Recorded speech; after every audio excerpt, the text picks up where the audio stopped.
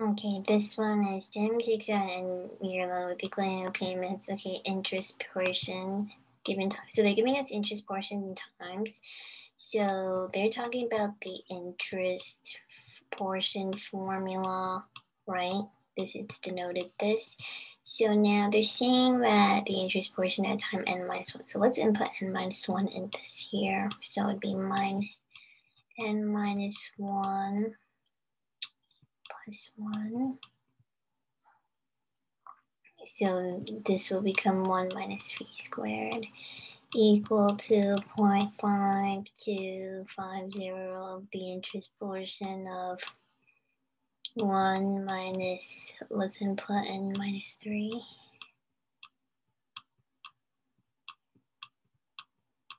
So it would be minus n plus 3 plus, so it'll be this.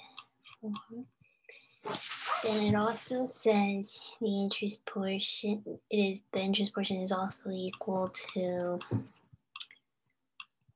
0.1427 of the interest portion of the first payment. So if I were to input one here, it would just be one minus v to the n, right? Now let's calculate n. So um, I could expand this quadratic to 1 minus v squared, 1 plus v squared. And I could get rid of this and this, right? So this will become 1. I could also bring this to the other side. So I could do 1 divided by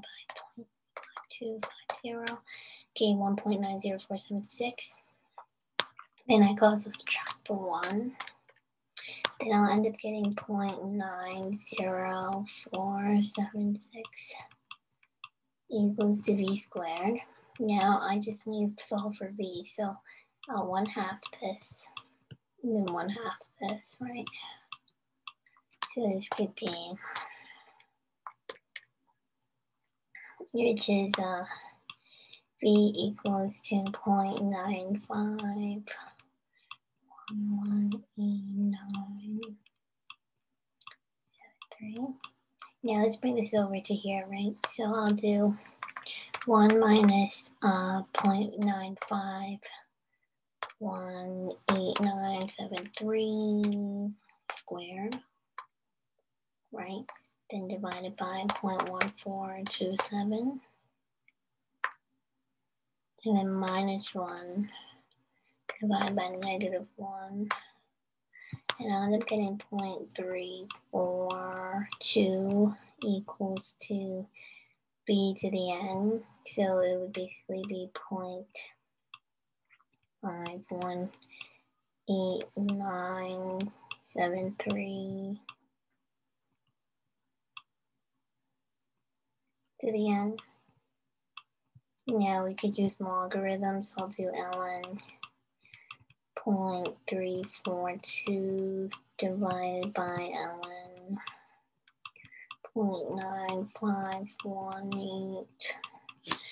Can do ln 0.342 divided by ln 8. And I'm going to get 21.719 as the answer, which will be closest to the answer uh, C.